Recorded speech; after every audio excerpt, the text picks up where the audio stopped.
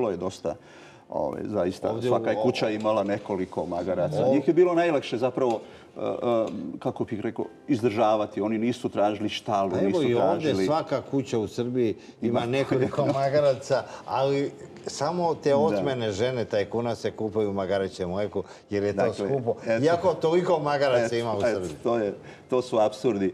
Ove, e, ja ovdje pišem u, u bikini godinama o zavičaju. Između ostalih nosiva... To su sentimentalne uspomene na rodni kraj. Nedavno na promociji u Banja Luci Rade Simović, teatrolog, je vrlo lijepo rekao ovaj, ako sami mogu zabraniti da dođe fizički u svoj zavičaj, on je tu virtualno svaki dan i nikomu ne može da zabraniti da se sjeća i da piše i da slika svoj kraj i svoj zavičaj. Kako su tvoje sjećanje? Evo, Zvijezdan 1 i Zvijezdan 2 Eh, bikini godine. Da, ja pišem u zavičaju, kao što rekoše kritičari. Znate, dok kritičari ne kažu, vi autori ne zna šta je zapravo mislio da kaže. Oni, oni rekoše, a sad sam i ja vidim da sam u pravu, ja pišem ove, o neobičnim ljudima iz mog kraja i ženama i muškarcima. To, to su priče i sudnice. Pa cijela, pa da, pa da. Malo Like, odakle mi je žena, malo malo ovaj, Dalmacije, može se to... I onda se prepoznaju u pričama i Crnogorci, i Hercegovci, i svi kažu, pa imamo i mi takve zvijezdane. Mm. Znate šta je zvijezdan? Šta Ili zvizdan, kako kažu dalmatinci. To je ono kad vas zvizne u glavu sunce u podne i onda malo poludite. Pa ima i film jedan da, Pa da, poslije sam, najprije sam ja knjigu izdao Zvijezdan, pa su ali oni... to je čuveni film koji je prikazan na Kanskom festivalu. Pa jeste, ali oni su poslije mog Zvijezdana dali ime Zvizdan. Ja sam... Ove, 13... Ne, prvo si ti napisao knjigu. Ja sam napisao onog Zvijezdan. Moja prva se knjiga zove Zvijezdan. Ovo je Zvijezdan 2 kojeg sam nazvao Bikini godine. Šta to, kako? To, je, to, je, to, su, to su za mlade ljude koji nisu doživjeli to vrijeme vrlo interesantno. Evo dođe moj zemljak iz e, Australije i dovede dvoje djece studentskog uzrasta. I kaže mi, to je prva knjiga koju su oni pročitali do kraja na srpskom i na čirilici toliko ih je to zainteresovalo i onda se čita to za jednu noć, dvije noći. A šta je zvijezdan i odnosno zvijezdan? O čem opiše, jel da? Evo pišem ovdje recimo nosiva je priča ženstvenost. Kako su nekad bile žene lijepe, kad su bile prirodne potpuno, kad nije bilo depiliranja, kad smo mi uživali u u, u, prirodnoj ljepoti i kažemo, eno tamo neka zgodna žena, sunčaset, mi smo znali da ona je onako dlakava, da je prirodna, jel da? To je bilo znak lepote. Pa da, u moje vrijeme.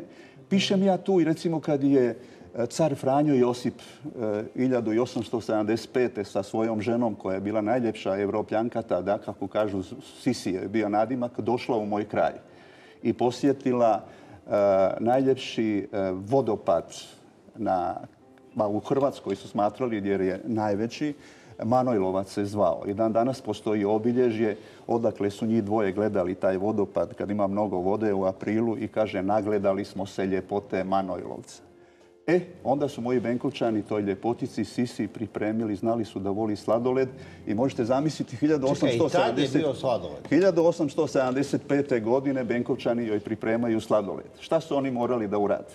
da neko konjem ode 30 km daleko do Velebita, da nađe santu leda onim škrapama tamo, da je donese natrag na konju, jel da?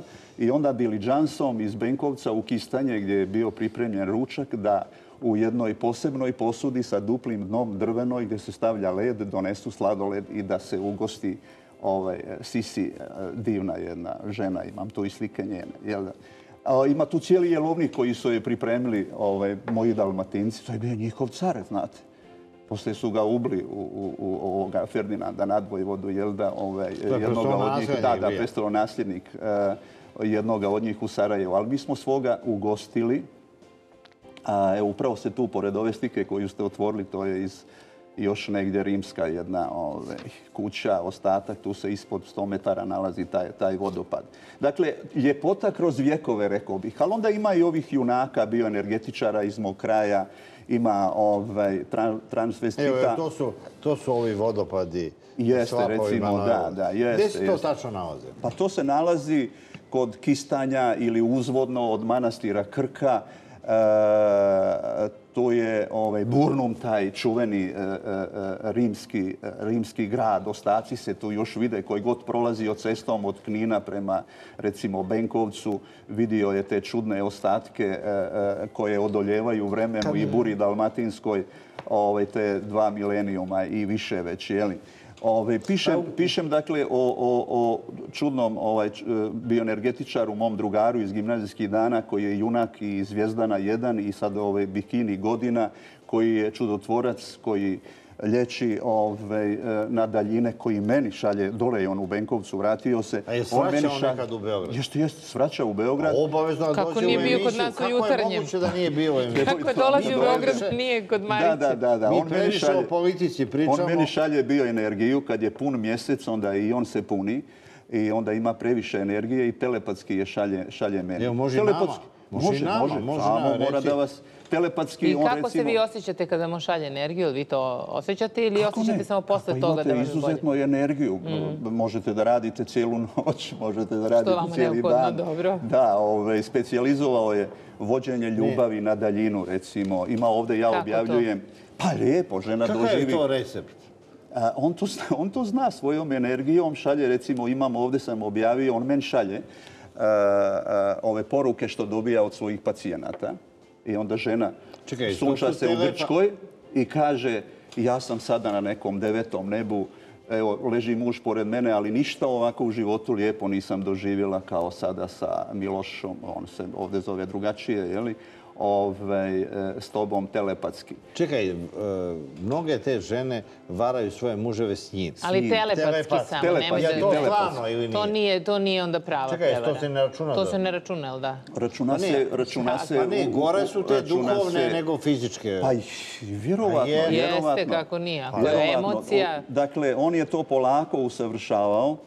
Sa mnom je išao u gimnaziju pa se znamo i ja sam mu kao neki hroničar mnogi misle da sam posebno u prvoj, u Zvijezdanu, gdje je on nosiva priča, sad je zadnja. I tu objavljujem e, koji su njegovi pacijenti, vrlo poznati.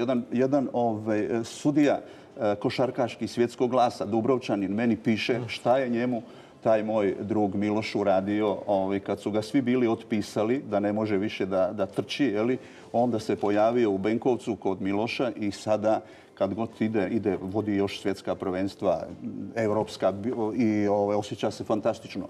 I to je autentična priča. Ima još takvih, još takvih nekoliko.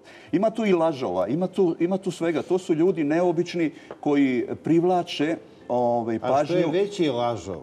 Uh, on je simpatični, to je svuda. Pa ne može biti lažov neko ko nije veoma inteligentan. Ko nije šarmantan, ko nije ne, neki tutumrak, ne može ni da slaže. Jedan moj Duško je bio u, u, u, u Petković se zove, e, kao Ilija, liči malo plavije, kao Ilija Petković. I u tom vremenu, kad je bio Ilija na vrhuncu slave, pojavi se taj drugi Duško u Čehoslovačkoj. Nekoliko mjeseci sva štampa, posebno sportska, bruji da je došao čuveni futbaler ovaj, Čekaj, on je glumio ili ili uglumio, ili je uglumio, igrao je, igrao je probnu utakmicu između ona dva poznata ovaj, kluba u Pragu što su bili najpoznatiji. I tek onda, Sparta. Kad su, kad su negdje na poluvremenu vidjeli da on zna da igra, ali daleko je to od Ilije, isti novinar koji ga je lansirao, onda je tražio iz, ne znam, Njemačke koje i šta je i onda je doznao. Ali u međuvremenu on je oženio jednu od najljepših djevojaka u, u, u Pragu, uh, dobio s njom poslije i dvoje djece, na kraju je otišao više uh, ja sam sve doznao to preko, preko tužbe dok sam bio sudija u Benkovcu jer ga traži razvod ta ove, Čehinja i u toj tužbi za razvod kojeg smo mi u Benkovcu rješavali po mjestu njegovog rođenja, cijeli roman o tome kako su se upoznali, kako ju je zaveo, kako je zaveo sve zapravo cijelu Dobro, je on je pod lažnim imenom Ilija Petković. On je bio pod svojim imenom. Pod svojim imenom, kako niko, pazite, kad, kad, kad vi, to, to vam je ko, ko iluzionista nekako, svi vjeruju, svi objavljuju slike, pripremaju mu prijeme razno razne, uh, jure ga žene, a on skroman glumi, kaže, znate, ja sam, ovaj, eto tako, šaljem sve pare što zaradim, imam još osmero braće i sestara, ja njih školujem, živim živim od njih, a on je zapravo svom čači koji je bio vrlo bogat dole iz mog susjednog sela ovaj, e, u Zagreb rekao Čača šalji vina i rakije, sve ću ti prodati, fantastična cijena. Čača slao, slao, slao, nikad pare nije dobio od njega.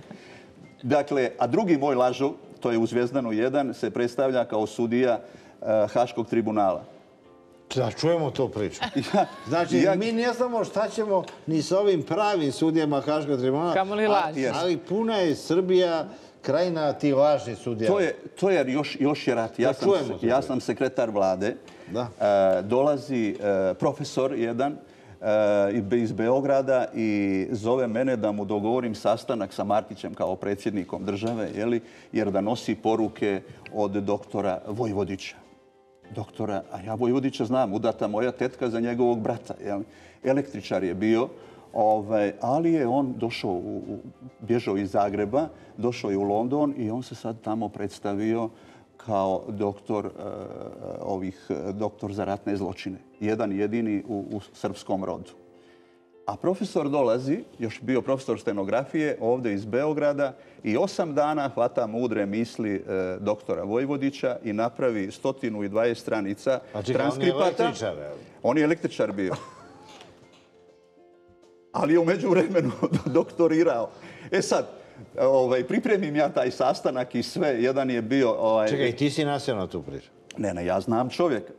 Znam čovjeka, znam ovoga da je lažao, jer je mene više puta prevario i sve nas, ali ne zna, ne zna Milošević, šalje njemu jedan transkript, šalje Karadžiću. Slobodanu Miloševiću. Da, pa da, šalje da vide oni mudre misli. On se tu predstavio da može da, da, spasi srpski narod. Jeli. Na kraju je bila poenta, poenta dajte nam, dajte mi, ovi, ne znam, dva miliona E, funti pa ću ja napraviti ovdje srpski centar u, u, Londonu i tako ću ja spasti Srbe, jeli, koji su, inače znamo kakvi su bili u to vrijeme. E sad, ovaj, e, meni čovjek priča, on je uvjeren da je to tačno. Pa kaže, on je i advokat, ja vidio njegovu advokat, odveo me tamo, piše advokatska kancelarija, doktor Vojvodić. A on je električar?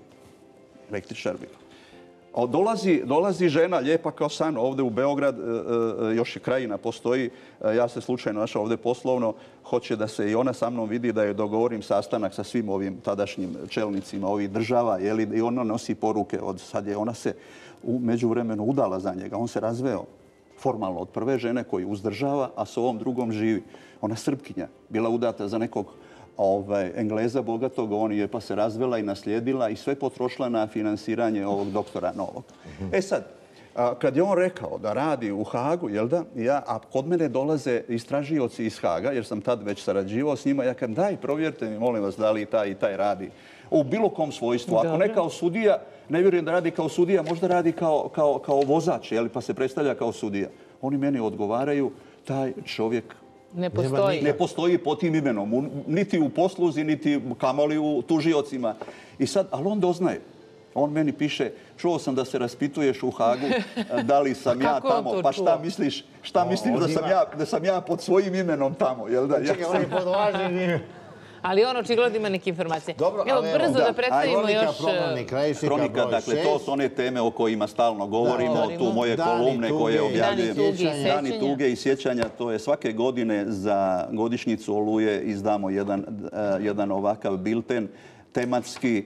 Tu je sve ono što se desilo između dvije godišnjice ovog obilježavanja od augusta do augusta, koje E, u međuvremenu identifikovan od tih nestalih, ko je osuđen sa srpske strane, ko sa hrvatske, ko sa bosanske, za sve za ratne zločine. Dakle, sve što se desilo, ko je dobio naknadu štete, ko traži naknadu štete, šta je napisano, koji su to ljudi iz kolone, recimo ovdje pišemo u ovome kako igra sad trenutno četvero ove, e, futbalera u Zvezdi koji su bili djeca u koloni izbjegličkoj, mhm. ove, e, gdje se sve ti ljudi nalaze po cijelom svijetu, već ima ih e, ne samo sportaša, nego... su i na istaknutim položajima u Srbiji, da, da, da, i u medijima, i scenaristi su najčuvenijih serija, to su ta deca koja su uspela. Dakle, kroz ovakve tri stvari, ovo je malo o ovom zavičaju na neobičan način koji privlači naše ljude da čitaju to, jer kad pričaš nešto na običnim jezikom i obične stvari, to više niko ne čita. On, on se zaljubi u ovog moga ove, recimo bioenergetičara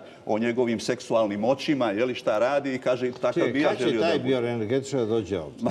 doći će uskoro, pozvaću ga. Pozvaću ga i dovodim ga u emisiju. Ovo su, te, mhm. da, ovo su te priče isto tako o, to što govorimo često u emisijama i ovo ove najtužnije stvari. Pa, Hvala, evo, evo samo da kažem da, je, da imamo štand, Veritas ima štand već godinama na prolazu između sale 1 i 4 i u subotu je e, u, 15, u 5 sati popodne u hali Borislav Pekić promocija Hronike 6. Lepo. Hvala najlepše. Sada ćemo vam predstaviti i tri e, ruskinje koje su napisale knjigu Moja prelepa Srbija.